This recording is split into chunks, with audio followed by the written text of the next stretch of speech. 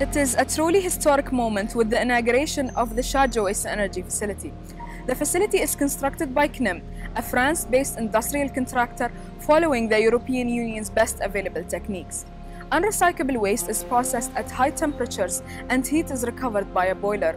The boiler then produces steam to drive a steam turbine and produce electricity. The bottom ash is collected to be used in construction and roadwork applications.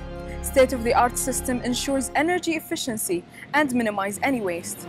This is a truly impressive and innovative facility thanks to the Emirates Waste Energy Company, Masdar and BEEAH. There are now new possibilities to lower our waste to landfill, produce clean energy, improve air quality and shape sustainable future for all.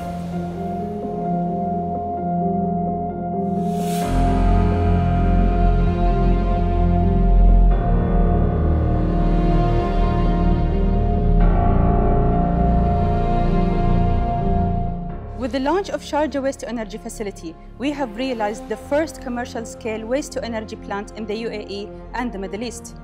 The plant will be an important contribution to the UAE, aligning with the Net Zero Emissions Strategic Initiative and the wider agenda to tackle the challenge of unrecyclable waste.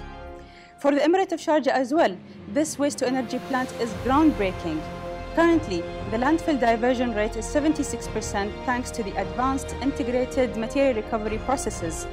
With the waste-to-energy plant creating energy from unrecyclable waste, Sharjah will reach 100% waste diversion.